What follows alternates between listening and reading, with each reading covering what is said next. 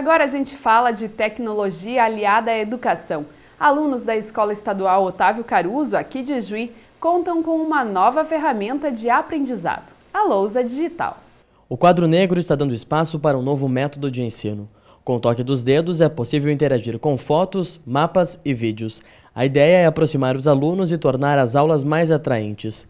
Há 15 dias, esta escola foi uma das primeiras a receber a lousa digital da Secretaria de Educação. Hoje, as aulas são ainda mais interativas. Porque a gente pode entender, nas aulas de geografia, os professores podem usar mapas, a gente está entendendo muito melhor a explicação do professor. Como os adolescentes eles estão vivendo num mundo de tecnologia, a aula acaba sendo mais ficando mais interessante, os alunos começam a participar mais ativamente das aulas e eles entendem também melhor o conteúdo. Até agora, a professora Márcia é a única que trabalha com este novo método. Para ela, esta é uma forma de trazer os recursos da internet para dentro da sala de aula. Se torna as aulas muito mais atrativas quando você tem uma lousa digital, onde você pode uh, ver uh, online uh, vários assuntos, onde você pode também explicar e, e colocar os assuntos numa outra ótica, né? numa ótica mais moderna. A nova tecnologia deve chegar a outras escolas estaduais da região. 43 instituições de ensino devem receber a lousa. A ideia do Ministério da Educação é integrar alunos e professores em aulas mais atrativas, transformando os conceitos básicos de aulas só com livros em novas formas de aprendizado. Aqui, parece que a ideia deu certo.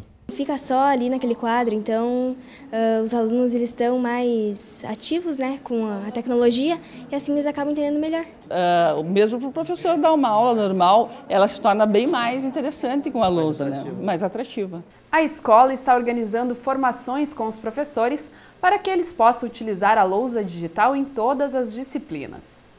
As doses remanescentes da vacina da gripe A foram disponibilizadas à população o que gerou fila nos postos de saúde.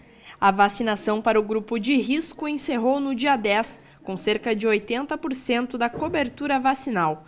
Na última semana, as doses foram estendidas para toda a comunidade. Filas se formaram nos postos de saúde. Em alguns pontos, as doses da vacina terminaram em poucas horas. Pessoas que já foram contaminadas pela gripe salientam a importância da imunização. Terceiro ano, né, que eu me vacino, mas é que a, o primeiro ano que deu a vacina muito forte aqui da vacina do porco, que o pessoal diz, né, eu tive. Aí então agora eu decidi, desde que me deu a gripe, eu me vacino todos os anos, doutor Mando, né? Então aí não me deu mais gripe forte, não tive mais gripe. Eu acho assim que é uma coisa muito boa, né, que já previne, né? Que Deus o livre uma gripe muito forte, né, pra gente, já pensou? Os jovens também querem prevenir-se. Que hoje, né, tá muito perigoso, né, a gente não se cuidar da saúde, cada dia mudando a temperatura, né, um dia tá quente, um dia tá frio, daí fica perigoso, a gente precisa tomar então, né, essa vacina.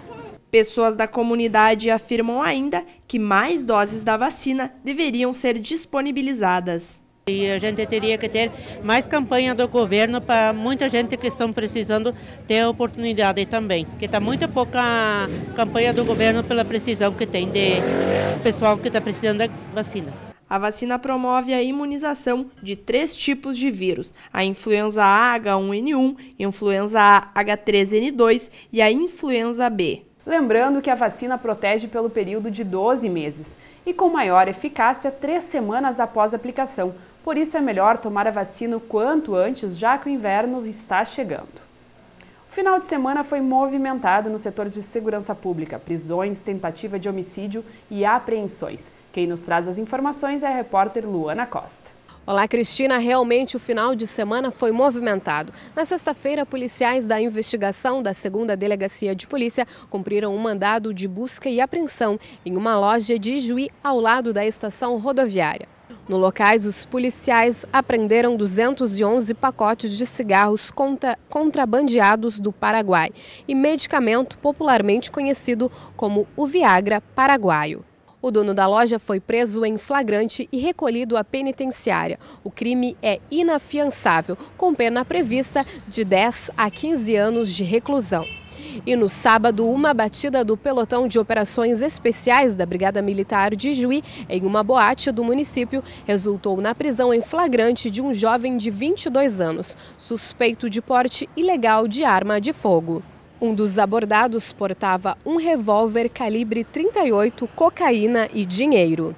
O suspeito foi encaminhado à delegacia de polícia, onde foi autuado em flagrante por porte ilegal de arma. A fiança para este caso foi de um salário mínimo para a liberação do preso. E no sábado, um casal de idosos foi atropelado no bairro São José.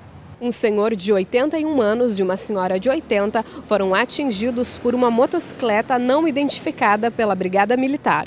Os dois foram socorridos por bombeiros e SAMU e encaminhados à Unimed, onde foram feitos exames. Sobre os dois adolescentes de 17 anos que estavam na moto, um fugiu com o veículo e o outro se apresentou como possível condutor. E uma briga terminou em tentativa de homicídio a tiros na tarde de ontem nas proximidades do CTG Laureano Medeiros, no bairro Industrial, em Ijuí. Segundo testemunhas, dois colegas de trabalho estariam aguardando um ônibus para se deslocarem ao município de Panambi quando houve o crime. Um homem de 28 anos levou dois tiros nas pernas e foi socorrido por populares que o encaminharam ao hospital. A vítima não corre risco de morte. Segundo o delegado Maurício Posselt, da primeira delegacia de polícia de Juí, o advogado do indivíduo já entrou em contato com a polícia. Porém, até o fechamento desta edição, o autor dos disparos não havia se apresentado à delegacia. Agora vamos à previsão do tempo com a repórter Priscila Helt.